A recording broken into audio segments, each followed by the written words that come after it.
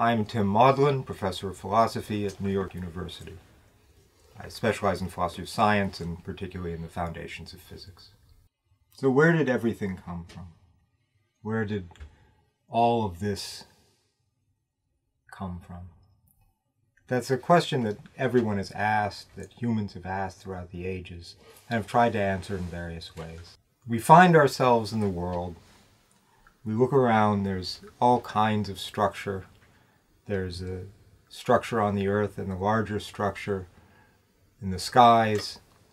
And we have to ask, where did it all come from? How did things come to be the way they are? Humans have always asked questions like that and tried to answer them in various ways. The story of the entire physical universe is cosmology, because the entire physical universe is the cosmos. And through religion, through philosophy, through science, we've tried to come to grips with these sorts of questions. We're going to be talking today about what some of those answers are and how they've changed through the course of human history. The first attempts to account for the entire universe were given in mythology and in religion, and they have different structures. One example is uh, given by the Chinese sage Lao Tzu. Writing in the Tao Te Ching about this, he wrote, There was something featureless, yet complete, born before heaven and earth, silent, amorphous, it stood alone and unchanging.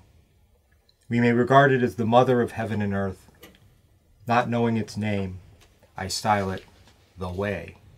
So, according to Lao Tzu, things started from this entirely unstructured state, a state that didn't have the beautiful galaxies, the stars that we see today.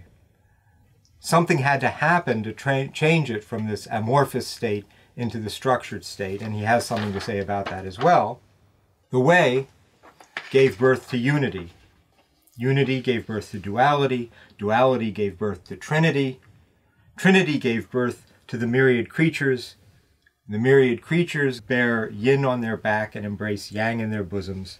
They neutralize these vapors and thereby achieve harmony. So somehow, from this one undifferentiated mass, there came to be two, then three, then many.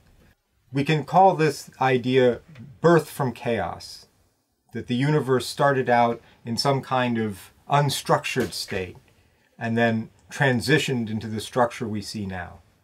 How exactly that transition occurred is going to look a little different depending upon who's telling the story. A different kind of account can be found in the Hindu tradition. There, instead of starting out with chaos with undifferentiated stuff and transitioning into structure, you have cycles. The universe began, the universe we're aware of began in a certain way and goes through a kind of birth and death.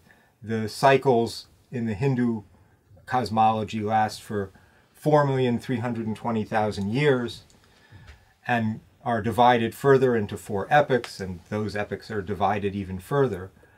But the, they start out, grow, and then decay, and then end, and the ending of one of these periods becomes the beginning of the next. So you go through cycle after cycle after cycle of birth, growth, death, rebirth. We can call that a cyclic cosmology. And that could go on back in time forever. The third kind of idea is illustrated in the biblical story of creation.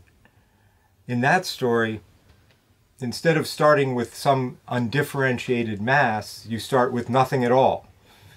And God creates ex nihilo, right, from nothing, the entire material world, already structured, already in a form very similar to what we see today. That happened at a certain period of time, and the material world only has a finite lifetime. If you go through the story of the Bible and try and calculate backwards when the universe began, you can arrive at a number. Uh, Bishop Ussher uh, came to the number 4004 BC, And you say it was then that everything started. And we can call that the theory of the finite past. So we have three possibilities so far birth from chaos, cyclic cosmology, and a finite past.